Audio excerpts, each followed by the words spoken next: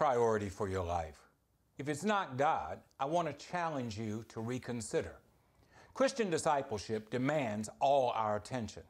Jesus teaches anyone who intends to come with me has to let me lead.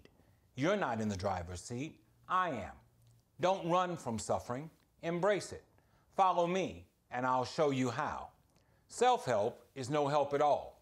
Self sacrifice is the way, my way, to finding yourself, your true self. What kind of deal is it to get everything you want but lose yourself? What could you ever trade your soul for? Sounds radical, doesn't it? But in reality, this is the basic truth of our spiritual formation that many choose to ignore.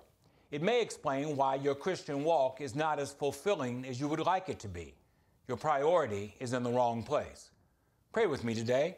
Lord, throughout this day and every day that you bless us to enjoy, may you be first. Help us to love like you, serve like you, forgive like you. Let us decrease as you increase in our lives. In Jesus' name we pray. Amen. Shiloh is getting ready for revival. For the first time post COVID, Shiloh will have its annual spring revival during Holy Week, Monday through Wednesday, March 25th through the 27th, beginning at 6:30 p.m. nightly. Our evangelist for these three nights will be Reverend Henry Brown, pastor of Star Bethlehem and First Emmanuel Baptist churches of our city, and a son of Shiloh.